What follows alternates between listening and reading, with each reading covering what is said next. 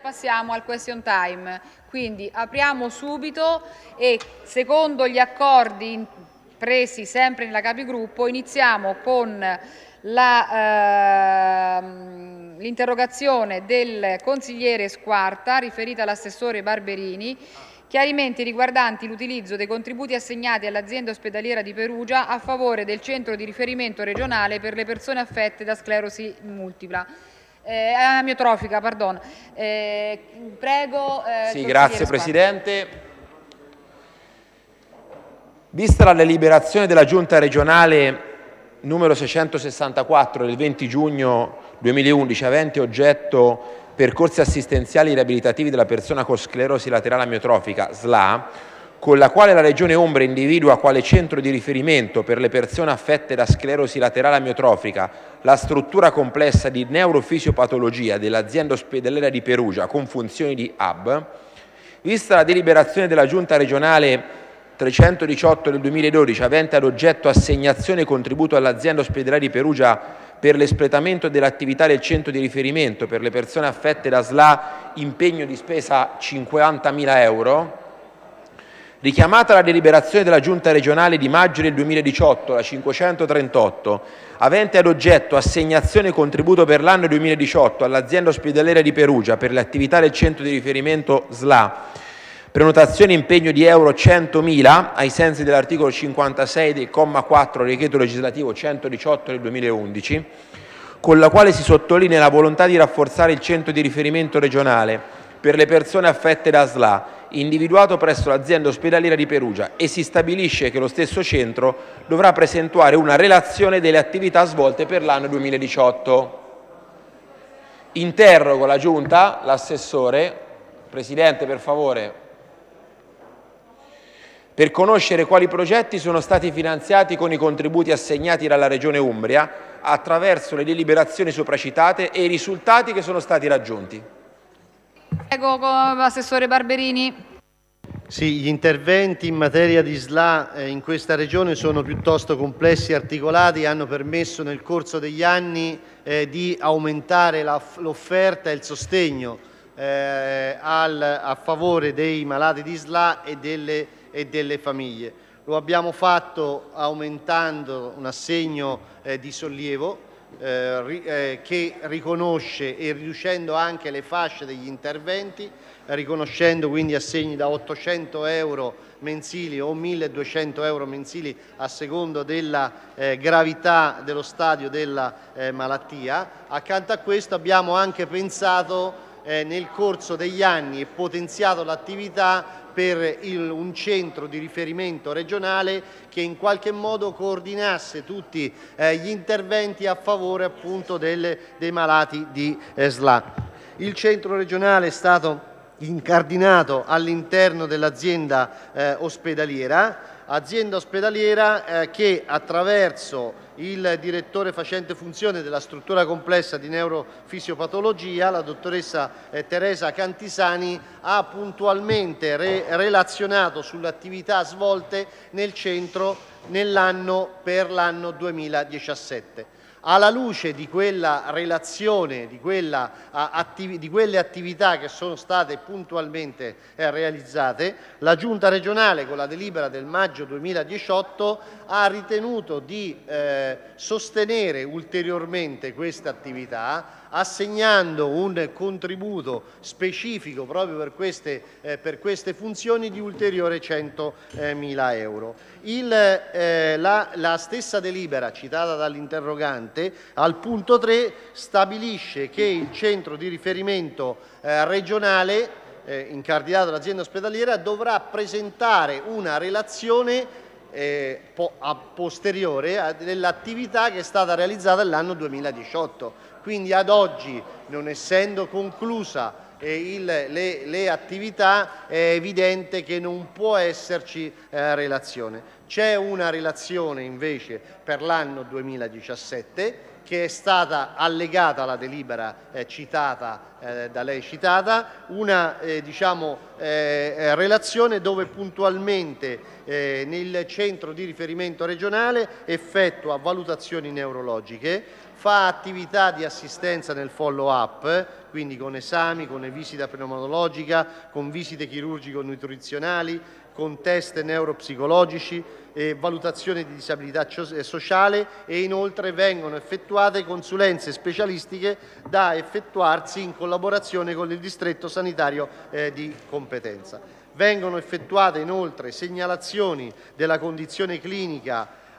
centri, ai centri di eh, ai centri di eh, competenza, così come vengono effettuate segnalazioni al centro ausili tecnologici su richiesta del neurologo. Ancora vengono effettuate eh, diciamo, attività per problematiche in condizioni di emergenza del malato di SLA rilascio di certificazioni e viene anche fornito attraverso questo centro supporto per aiutare il familiare che si fa carico dell'assistenza del malato. Così come, proprio per aumentare e migliorare l'offerta, vengono svolte attività di formazione del personale e sono stati fatti nel corso dell'anno 2017 eh, tre, eh, diciamo, ehm, tre, eventi proprio per eh, diciamo, formare eh, i professionisti nel fornire assistenza a questi malati. Così come è partito nell'anno 2017 e sarà ulteriormente potenziato nel corso dell'anno anche una sorta di registro cartella informatizzata contenente tutti i dati relativi a tutte, eh, a tutte le SLA della Regione Umbria per il monitoraggio e che eh, diciamo, cartella clinica informatizzata che permette di monitorare costantemente la, la popolazione affetta da questa malattia. Eh, è chiaro che questi sono tutti interventi che saranno ulteriormente potenziati e costituiranno oggetto di opportuna rendicontazione nell'anno 2018, eh, così come prevede la delibera citata nell'interrogante. Eh, grazie replica. Presidente, aspettiamo a questo punto la ovviamente la rendicontazione per quanto riguarda il 2018, molto è stato fatto, ha ragione l'assessore per quanto riguarda l'assegno di sollievo, però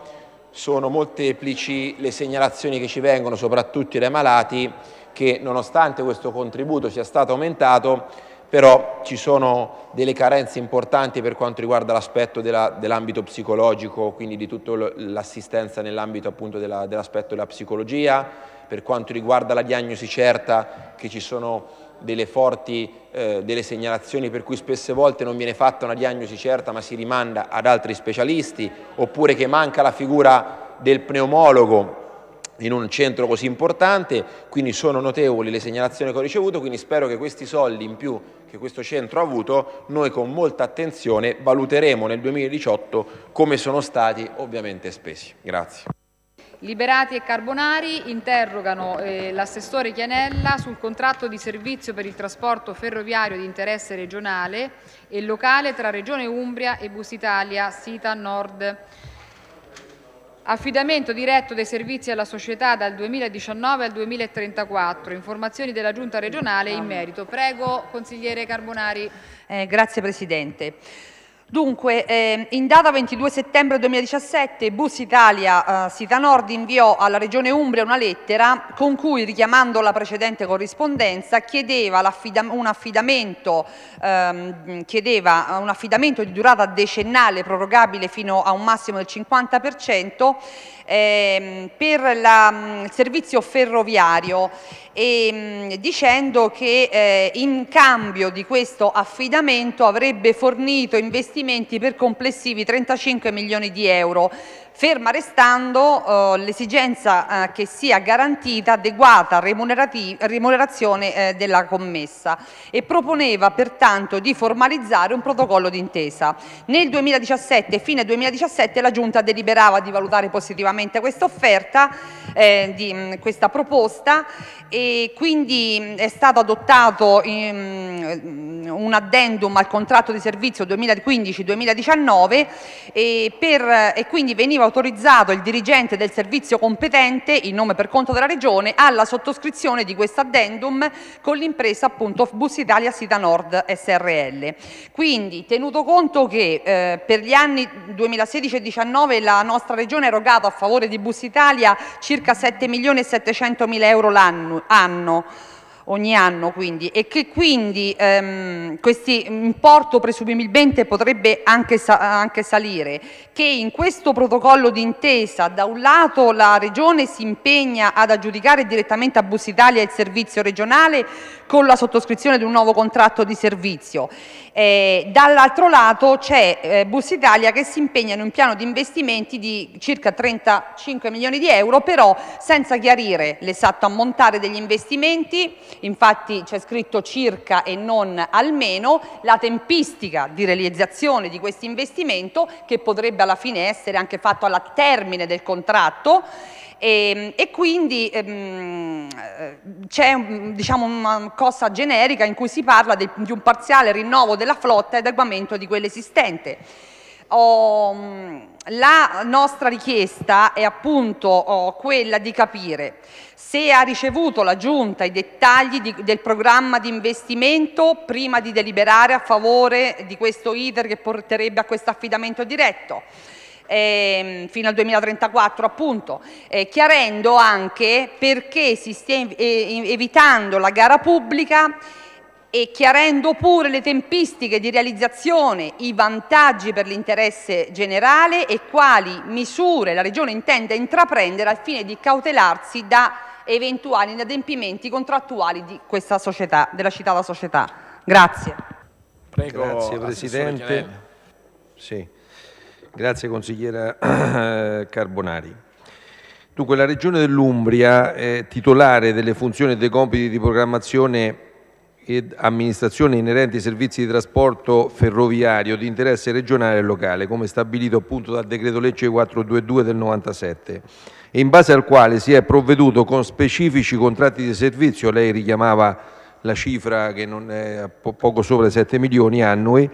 a regolamentare con affidamenti diretti i servizi ferroviari svolti dagli attuali gestori. La normativa europea, inoltre, articolo 5, paragrafo 6 del regolamento comunitario numero 1370 del 2007, contempla la procedura di affidamento diretto fino all'anno 2023 per l'aggiudicazione dei contratti di servizio pubblico di trasporto ferroviario, consentendo altresì, all'articolo 4, paragrafo 4, di estendere la durata dei ridetti contratti del 50% in ragione della significatività degli investimenti previsti a carico dell'operatore del servizio pubblico. La sopra richiamata disciplina, quindi è un'opportunità ovviamente che le regioni hanno, non solo la regione dell'Umbria ma anche altre regioni hanno aderito a questa possibilità, la sopra richiamata disciplina in tema di affidamento del servizio di trasporto ferroviario prevede pertanto la possibilità di, ricorrere all'affidamento diretto ove consentito appunto dalla disciplina nazionale come modalità in tutto e per tutto equivalente alla procedura di gara. In tale contesto è stato valutato positivamente la proposta di investimenti offerti da Bus Italia, nella misura stimata in circa 35 milioni, come ha ricordato lei, quale condizione indispensabile perché si possa addivenire a un affidamento diretto pluriennale che dovrà consentire il rinnovo di buona parte della flotta in uso, sviluppi informatici, adozione di nuove tecnologie e manutenzione ciclica dei treni e conseguentemente un sensibile miglioramento dei livelli offerti dei livelli di servizio offerti. All'impegno manifestato da Bus Italia è evidente che dovrà far seguito, quindi la procedura è tuttora aperta, se vogliamo ha scontato anche un piccolo ritardo, insomma la redazione a cura della medesima società di un dettagliato piano di investimenti che dovrà anche tener conto dei lavori di ammodernamento della rete ferroviaria regionale ancora in corso e in particolare delle nuove tecnologie per la sicurezza che verranno adeguate, adottate. Scusi. Il succitato piano sarà oggetto di attente valutazioni da parte della giunta regionale degli uffici ovviamente, finalizzate ad appurare oggettive e positive ripercussioni sugli standard e sulle prestazioni dei servizi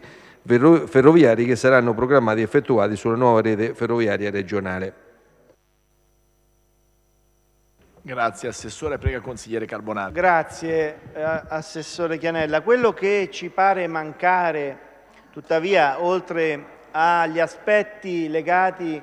a eh, la trasparenza di una gara che pare molto di là da venire è proprio il progetto, il progetto di mobilità ferroviaria regionale interregionale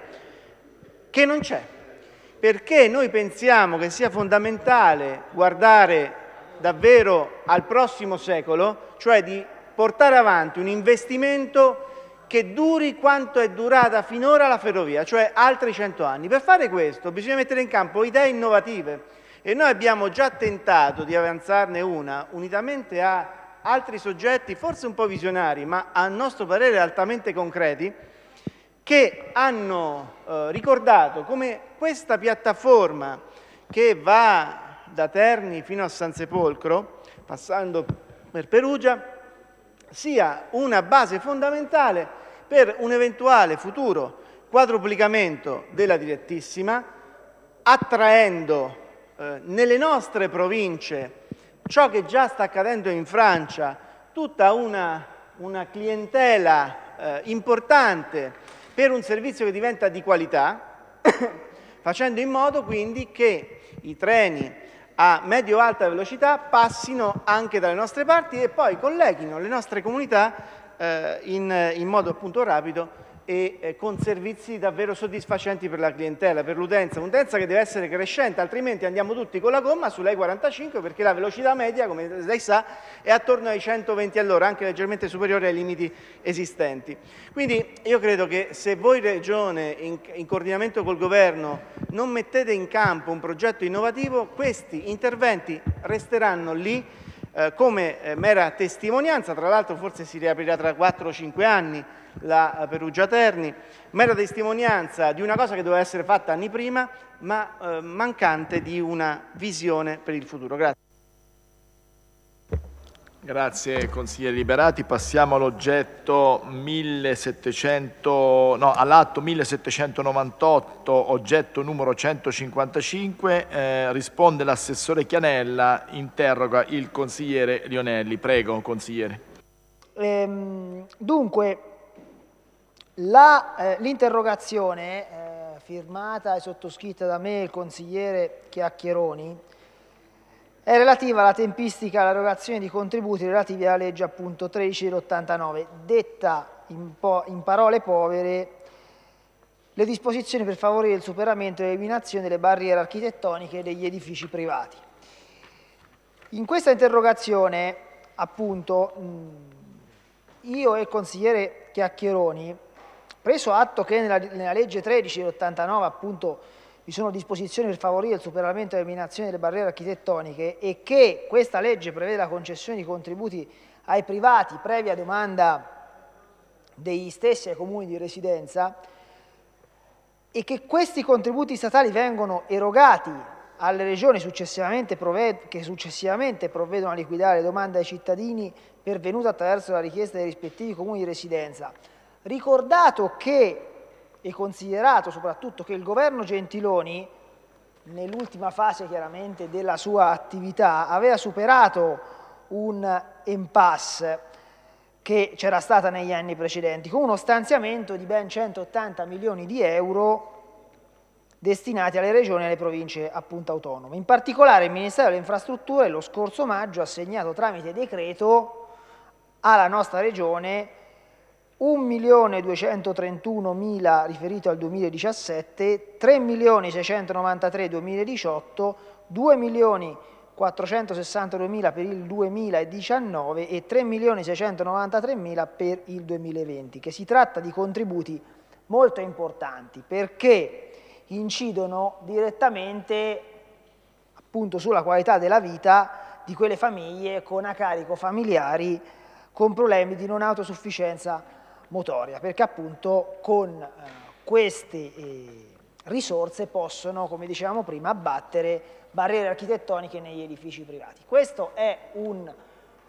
è una battaglia di civiltà, è una battaglia importante, è una battaglia nella quale lo scorso governo ha creduto fortemente. Nel frattempo devo dire che eh, eh c'è stata anche da quando è stata depositata l'interrogazione che ormai è di qualche settimana fa c'è stato diciamo, un quadro che si è eh, evoluto, volevamo capire appunto dall'assessore Chianella eh, quello che è lo stato dell'arte, fermo restando che appunto parliamo di una questione che veramente ha un'incidenza diretta nella vita di tante persone, soprattutto di tante famiglie con disabili eh, chiaramente nel proprio nucleo familiare. Immaginate appunto poter abbattere magari barriere architettoniche nel proprio appunto edificio nelle realtà eh, chiaramente dove si svolge no, la quotidianità delle persone, capite no, che eh, eh, passo in avanti significativo per la qualità della vita stessa delle, eh, dei disabili, ma anche chiaramente delle famiglie, può, uh, può concretizzarsi. Quindi questa è un po' la,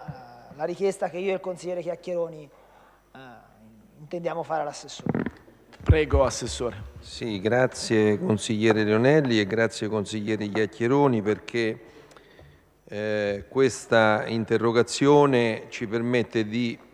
esporre in maniera forse anche più compiuta di un grande risultato che la Regione dell'Umbria ha conseguito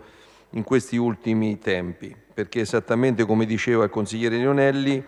questa risorsa che è stata messa a disposizione di 180 milioni dal governo Gentiloni all'Umbria arrivano 11 milioni in un quadriennio, quindi è stato un risultato chiaramente eh, se vogliamo anche inaspettato ma che premia comunque un lavoro svolto da parte dell'assessorato, da parte ovviamente dei tecnici e anche da parte del, del sottoscritto. È vero, la legge 1389 riguarda un problema di dignità delle persone. Eh, lo Stato ha finanziato eh, questa legge fino al 2002 e dal 2002 in avanti eh, è stata la regione, in questo caso dell'Umbria, e le regioni che in alcuni casi si sono sostituite allo Stato, ma questa sostituirsi allo Stato e quindi finanziando anche se parzialmente questa, questo fabbisogno non ha esaurito tutte le richieste che erano e che sono tuttora diciamo così, aperte, sono, eh, che vengono fatte ai comuni, ai diversi comuni dell'Umbria, com'è lo stato dell'arte. Noi abbiamo eh, liquidato sin da subito nel giro di 50-60 giorni, perché noi il decreto è stato emanato nel luglio, eh, nel luglio scorso, quindi noi a fine settembre abbiamo sostanzialmente liquidato la prima tranche che riguarda le annualità 17 e 18 che sommano circa esattamente a 4 milioni e 900 mila euro. I comuni oggi stanno ovviamente istruendo le pratiche e pagando le persone che per anni non hanno avuto il rimborso eh, che a loro spettava. Quindi direi un grande risultato di dignità soprattutto eh, per dare eh, una risposta alla dignità delle persone perché l'abbattimento delle barriere architettoniche è un problema tuttora eh, diciamo, evidente nelle, nelle, abitazioni private e che devo dire qualche volta anche in quelle pubbliche purtroppo. Grazie consigliere Ionelli. Prego consigliere Ionelli. Sì, no, grazie Assessore per la risposta esauriente. Eh, sicuramente ci fa piacere, speriamo che i comuni possano velocizzare eh, chiaramente queste pratiche, perché insomma poi il patrimonio edilizio della nostra regione lo conosciamo, no? anche diciamo, nelle aree eh, urbane così come nelle aree rurali, c'è un'edilizia magari eh, no? di ehm,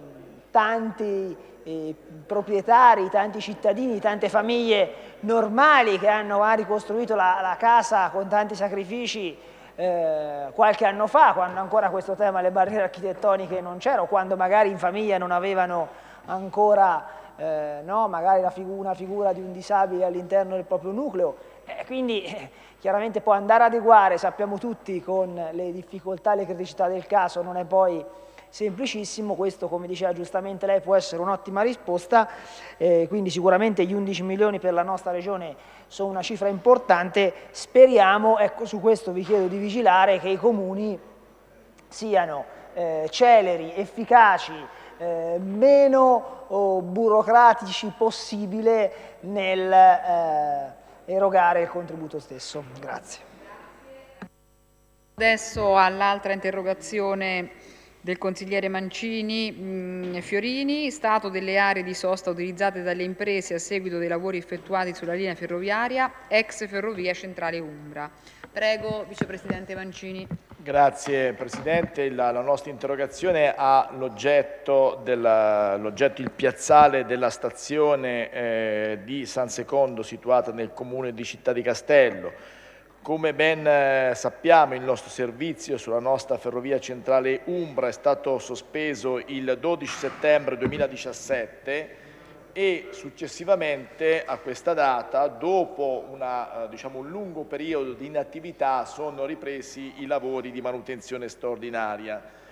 Eh, in pratica il piazzale della stazione eh, dell'FCU di San Secondo è stato adoperato in questi, in questi, mesi come area a tutti gli effetti di cantiere, ciò ha provocato notevoli disagi perché quel piazzale e quella struttura era ampiamente adoperata eh, come area di sosta eh, e di manovra per quanto riguarda eh, i genitori, comunque eh, gli usufruitori della scuola elementare di, di eh, San Secondo. Eh, come ben sappiamo è stata restituita la struttura anche con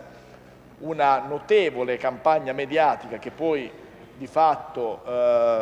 cara Presidente, cari colleghi, non ha subito determinato riapertura del servizio, ma oggi possiamo constatare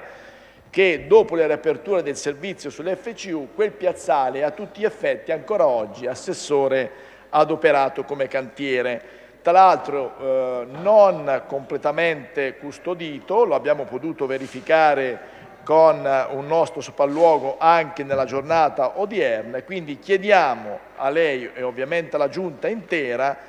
eh, se è interessata a intervenire per ripristinare il manto stradale della strada che porta ovviamente dalla, dalla provinciale alla, alla, stazione, perché questa strada che ovviamente serve anche la presente scuola elementare è stata ampiamente deteriorata e rovinata e se la stessa giunta ha in mano o, com o, comunque ha intenzione di ripristinare in che tempi ovviamente l'intero piazzale della stazione stessa. Grazie. Prego Assessore Chianella. Sì, grazie Presidente, grazie Consigliere Mancini. Eh, diciamo che eh, la stazione di San Secondo, in realtà la tratta Umberti di Città di Castello sono tre anni che è stata chiusa, quindi diciamo è stato sospeso l'esercizio commerciale, mentre Umberti di Ponte San Giovanni solo da un anno. Ehm, le notizie che ho io, consigliere Mancini, è che ieri sono iniziati i lavori di asfaltatura, sia del piazzale che di risistemazione della, della strada, a cura e spese ovviamente dell'impresa che ha, effettuato i lavori sulla ferrovia e che è stata ovviamente mh, come dire, obbligata a utilizzare qualche ferrovia, nel caso specifico questa di San Secondo, per, eh, per il passaggio di, eh, di mezzi, mezzi d'opera. Eh, non, stato, non ci sono stati problemi, la ripresa dell'esercizio il 25 ottobre ha comportato comunque la segnalazione di eventuali pericoli, ovviamente il circoscrivere eh, diciamo, quelle zone che in qualche maniera sono state aree di cantiere, necessariamente aree di cantiere, per cui dalle notizie insomma, che noi abbiamo non ci sono stati eh, diciamo così, problemi di questo tipo. Eh, la notizia che io ho è che da ieri sono iniziati i lavori di sistemazione della stazione di San Secondo e quindi stanno andando avanti e quindi speriamo che ripristinino, venga ripristin vengano ripristinate diciamo così, quelle aree, vengono sistemate quelle aree che in qualche maniera effettivamente sono state eh, danneggiate durante il corso dei lavori. Grazie. Grazie, prego Vicepresidente Mancini. Dunque, allora posso, diciamo, come ho accennato nella prefazione, io ho fatto il sopralluogo stamattina, in effetti c'è un'asfaltatrice parcheggiata nella strada adiacente, c'è del materiale eh, ghiaia e altro eh, predisposto sul piazzale, quello che ovviamente mi preme qui eh, diciamo, ricordare e portare a conoscenza dei colleghi consiglieri che evidentemente questa operazione poteva e doveva essere fatta prima è secondo me, mi permetta Assessore, una critica che faccio non ovviamente eh, in questo caso a lei come Assessore o eventualmente alla Giunta, faccio riferimento a una critica che estendo fuori da questa struttura a chi si prende l'impegno di adempiere a dei lavori, tra l'altro ampiamente pagati e, e, e pagati bene, e diciamo, all'interno di questi lavori si deve determinare anche la cura eh, di tutto quello che sono gli aspetti cantieristici, anche al di là ovviamente non dell'opera ma del ripristino dello stato eh, dell'arte prima di iniziare quel cantiere. Tutto questo diciamo, per me eh, è occasione, Assessore, di rivendicare un andazzo negativo che molte volte eh, diciamo, è, eh, si è diciamo, più volte manifestato Eh, forse perché non si sorveglia abbastanza e non si è categorici abbastanza, questo lo voglio qui ricordare. Eh, noi in generale subiamo come istituzioni pubbliche, quindi non solo come regione, ma parlo anche di comuni e province, molte volte eh, il rincorrere lavori fatti che molte volte ci vedono eccepire i stessi lavori. Abbiamo recentemente trattato questioni che riguardano lavori svolti da, società loro malgrado coinvolte in situazioni eh, diciamo, di criminalità organizzata, non è ovviamente il caso di cui stiamo parlando oggi, ma oggi si pone un atteggiamento, mi permetta, più aggressivo e più autoritario, perché tale è la necessità di agire nei confronti di chi a fronte di lavori assunti, come abbiamo visto in generale un po' in, in tutta l'Umbria, abbiamo poi gli stessi lavori che non sono ovviamente rispettati nei termini e nella qualità dei materiali. Questo ci pone l'obbligo ovviamente di agire con più tempestività e con più intensità e severità. Grazie.